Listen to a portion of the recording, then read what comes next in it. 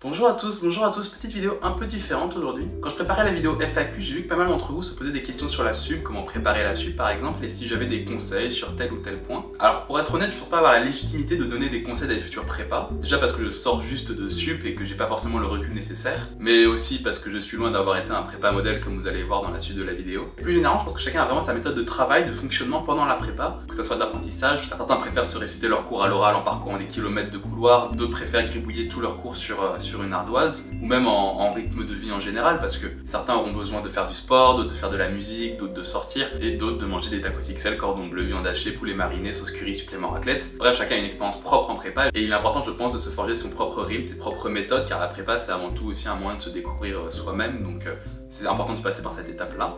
Néanmoins, néanmoins, néanmoins, il me paraît quand même intéressant de partager un peu mon expérience en sup. C'est pour que je vous propose qu'on aborde 5 choses, 5 idées que j'aurais aimé connaître avant d'entrer en sup, 5, 5 euh, idées que j'aurais aimé dire à petit Bao sortant de terminale prêt à affronter le gouffre de la prépa. Ne voyez donc pas ça comme des impératifs à suivre, ni même des conseils d'ailleurs, car il est probable que je me plante sur pas mal de trucs, mais voyez-y plutôt des pistes de réflexion, des idées qui pourraient vous aussi vous venir en sup. Bref, trêve de blabla, c'est parti pour 5 points que j'aurais aimé connaître avant la sup. On commence par un basique, mais que je pense qu'il est toujours bon de rappeler, l'hygiène de vie c'est vraiment le truc le plus fondamental en prépa, c'est ce qui va vous permettre de tenir la prépa, de tenir les deux années, mais aussi peut-être de vous couler parce que vous avez une mauvaise hygiène de vie. Alors on le répète pas mal avant la sup, j'imagine que vous l'avez déjà entendu, mais on peut toujours finir par craquer et, sombrer dans les abîmes et les, euh, et les vices de la tentation. À titre d'exemple, j'ai passé une bonne partie de ma sup avec une dette de sommeil supérieure à tous les contrats que pourrait avoir Mbappé pour son transfert du PSG et à manger plus ou moins régulièrement de la bouffe bien lourde et, bien grasse. Résultat, j'étais souvent fatigué, j'ai piqué même du nez en cours, comme pourront peut-être en témoigner certains de mes profs. Et vraiment, chaque DS que j'ai passé avec moins de 7h30 de sommeil dans la nuit, je l'ai soit raté, soit j'ai sous-performé. Et donc vraiment, l'hygiène de vie, donc notamment sommeil et alimentation, sont pour moi vraiment les piliers de ma prépa. Et ce que j'ai essayé d'adopter vers la fin de l'année, même si parfois c'est vrai que j'avais toujours des écarts. Déjà, quoi qu'il se passe, je me couchais à 23h max pour essayer d'avoir au minimum, je dis bien au minimum, 7h30 de sommeil. Car il suffit bah, d'un exo en tête, même du stress que peut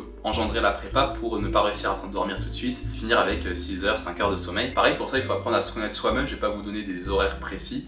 Et il faut savoir combien de temps on met à s'endormir, de combien d'heures de sommeil on a besoin pour être productif à plus de 90% de ses capacités et survivre à la journée sans avoir une perfusion en continu de, caféine dans le sang parce que c'est pas non plus une bonne chose. Et si tu t'inquiètes pour un TD pas terminé ou un DM pas fait, bah toi que ce sera toujours plus rentable de se coucher plus tôt et de pas sacrifier la journée du lendemain que de finir euh, les 2-3 exos du TD que tu auras dans tous les cas du mal à faire à 1h du mat. Pour l'alimentation, évidemment ça dépend de chacun, mais essaye de manger pas trop lourd à midi, surtout pas trop gras parce que ça peut te faire piquer du nez. Si t'es en internat, je sais que parfois les repas peuvent paraître légers, donc n'hésite pas à prendre des trucs évidemment dans ta chambre ou à, ou à prendre des bons petits déjeuners. Moi, je prenais pas de petit déjeuner puis j'ai découvert la magie des trésors et les trésors, putain et évidemment largement meilleur que les lions. Bref, même si ce sera difficile, qu'il y aura forcément des écarts pendant la prépa, même serait-ce que pour se faire plaisir une ou deux fois, essayez au maximum d'avoir une bonne hygiène de vie, c'est vraiment la base. En maths, tu vas très rapidement comprendre que tu vas devoir refaire et non pas lire tes démonstrations, ne serait-ce que pour l'école. Déjà, essaye de te réapproprier les méthodes que tu vois dans les démos pour pouvoir les réutiliser dans le futur exo, surtout les ultra classiques. Que ce soit la découpe d'epsilon que tu vas voir pour prouver par exemple l'unicité de la limite, de la dichotomie pour prouver le TVI, d'un rasement par la qui rend plus légère la rédaction de la liberté d'une famille de polynômes de degré échelonné. L'important sera moins la démo elle-même que les méthodes qu'elle propose et qui pour les ultra classiques seront forcément retrouvées à un moment dans, la, dans une vie de top 1. En physique, cependant, l'accent sera moins mis sur les démos. À titre d'exemple, on me demandait très très rarement des démos en colle de physique notamment. Et le prof n'insistait pas spécialement dessus, donc j'ai passé une bonne partie de l'année à pas vraiment refaire, même lire parfois les démos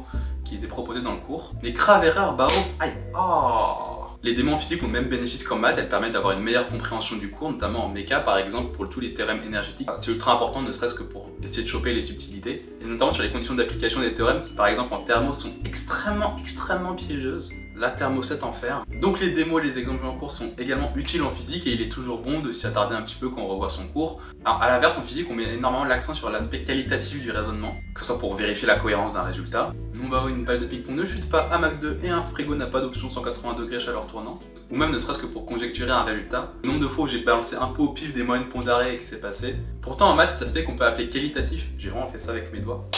Je me juge moi-même pour ces actes. Je disais donc que cet aspect qu'on peut aussi appeler qualitatif peut être extrêmement utile. Déjà on peut penser au proba parce que le côté concret peut permettre de vérifier ses résultats. Mais attention quand même à ne pas conjecturer trop vite des résultats parce que comme disait mon prof de sup, l'humain a une intuition éclataxe, éclataxe en. Il n'employait pas le mot éclataxe, hein, mais... on peut aussi appliquer ce genre de raisonnement en algèbre linéaire, avec des considérations géométriques en deuxième dimension, en troisième dimension. On analyse en se, représentant les graphes des fonctions pour voir comment elles se comportent, pour trouver des contre-exemples, pour euh, par exemple dessiner des tuyaux pour les limites. En bref, en maths, faites des dessins partout, tout le temps, devenez le Van Gogh, devenez le Picasso des mathématiques et, euh, probablement que ça pourra aider.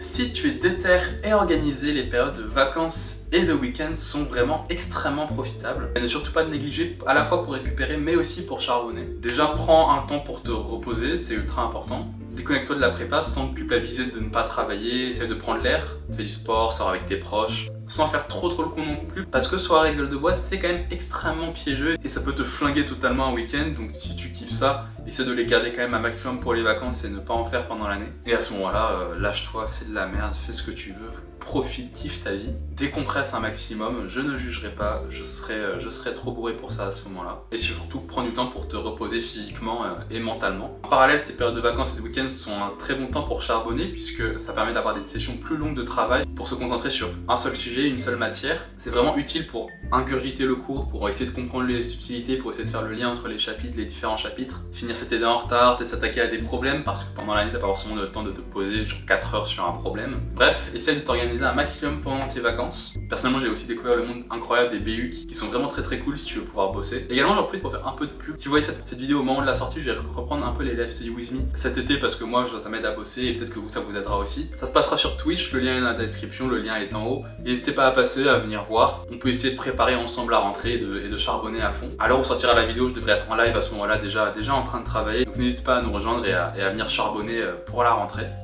Bref, fin de l'auto-promo, retenez juste que, euh, les vacances et, le week-end, si on s'organise bien, euh, ça peut devenir vraiment très très rentable. Le milieu de l'année, vers avril, donc vraiment dans le dur de la prépa, on a check avec des potes notre temps d'écran euh, qui était sur notre téléphone et c'était effrayant de voir que parfois on pouvait passer, bah, pour certains, plusieurs heures, même par jour, même en prépa, sur notre téléphone. Alors évidemment, il y a une partie avec Teams, avec les TD, avec ce genre de choses, mais il y a quand même une partie évidemment de, réseaux sociaux, d'Insta, de YouTube, tout ça. Et même en limitant un maximum le temps d'écran, notre cerveau est tellement drogué par les réseaux qu'on finit par y retourner euh, inlassablement. On commence par mettre un limiteur de temps, puis un mot de passe sur le limiteur pour pas y accéder, à se chercher des excuses valables pour les garder. Mais en réalité, entre fort intérieur, pose-toi la question est-ce que c'est réellement utile de passer ces 15 minutes par jour à scroll sur Instagram pour être à chaque fois déçu et aigri quand elle s'arrête? Est-ce que c'est si important de garder l'application YouTube même pour regarder des vidéos de sciences, de maths ou de ton youtubeur prépa préféré Personnellement, si je dois être honnête avec moi-même, je dois admettre que non. Pour mon usage et mes besoins, il n'y a aucune raison qui justifie réellement de manière pertinente de garder les applications de réseaux sociaux sur mon téléphone.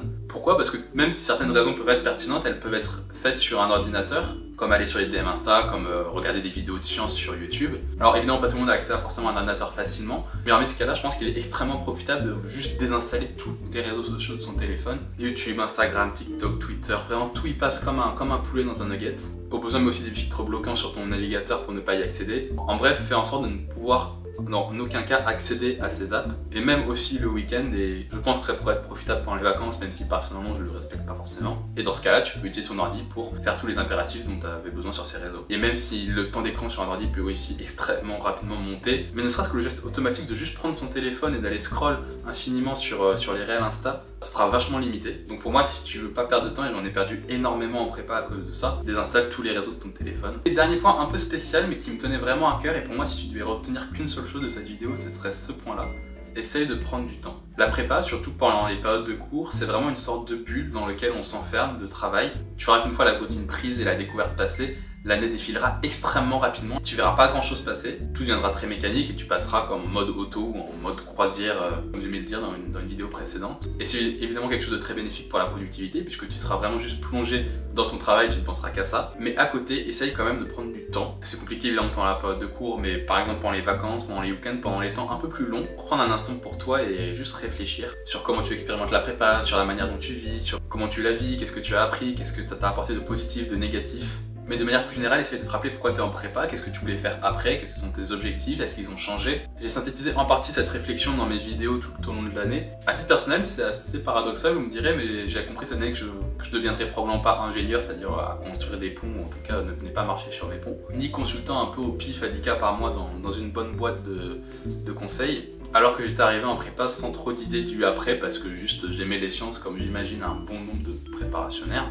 Et même si j'ai encore une idée assez floue de ce que je voudrais faire après la prépa, même si ça se dessine petit à petit, j'ai compris qu'une partie des débouchés des écoles d'ingénieurs étaient juste pas faites pour moi. Mais bon, je me plais toujours en prépa, j'ai d'autres motivations en tête, donc euh, tant qu'on continue et on voit où ça nous mène. À l'inverse, j'ai une pote qui est vraiment super forte, qui était destinée à la, à la PC étoile, et qui a compris qu'elle préférait partir en médecine et qui quitte la prépa l'année pro pour partir à la fac. Bref, de manière générale, comme je l'ai déjà dit, on est à une charnière de notre vie où nos choix détermineront une bonne partie de notre vie future. Et il est d'autant plus important de ne pas foncer tête baissée sur le chemin de la prépa, au risque de se retrouver dans deux ans dans une école d'ingé sans trop savoir pourquoi, à se démonter la gueule chaque soir dans des soirées pour, dit-on, se construire un réseau, mais en fait juste pour oublier qu'on est totalement paumé et que on sait pas où on va. Puis quelques années plus tard, rejoindre une boîte de conseils qui certes paye bien, mais à la vie monotone et se rend compte trop tard qu'on est en réalité passé à côté d'elle dans notre jeunesse. Évidemment, je caricature un peu les traits et la vie que je viens de décrire peut être une bonne vie si elle soutient un vrai projet derrière, mais de mon petit et inexpérimenté point de vue, j'ai l'impression que c'est un piège dans lequel on peut facilement et rapidement tomber. Donc euh, peut-être à méditer.